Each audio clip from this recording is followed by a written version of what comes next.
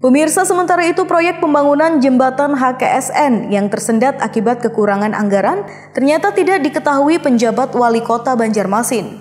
Fidayan memastikan akan memanggil dinas PUPR agar persoalan tersebut tidak berlarut dan bisa segera digunakan masyarakat.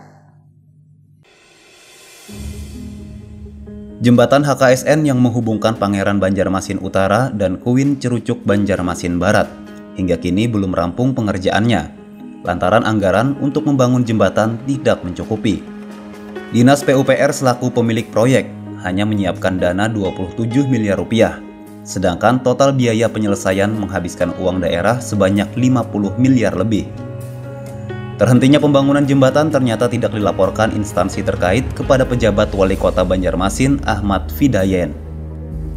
Persoalan ini baru didengar saat mengikuti rapat paripurna pengesahan laporan keterangan pertanggungjawaban wali kota tahun anggaran 2020 pekan kemarin. Fidayen menyampaikan akan segera memanggil dinas terkait untuk membahas percepatan pembangunan agar dapat segera dinikmati masyarakat.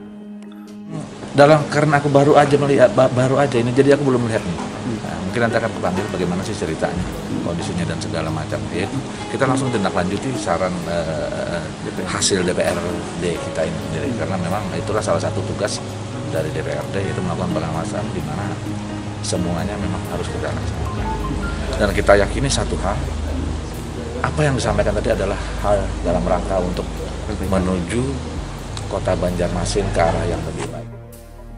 Pembangunan jembatan HKSN di masa kepemimpinan Ibnu Sina tersebut terkesan dipaksakan. Pasalnya, sejumlah lahan milik warga yang masuk area pembangunan hingga kini belum diganti rugi oleh pemerintah. Dan hal itu jadi penghambat pengerjaan oleh pihak kontraktor. Dari Banjarmasin, Suhardian, Ainis melaporkan.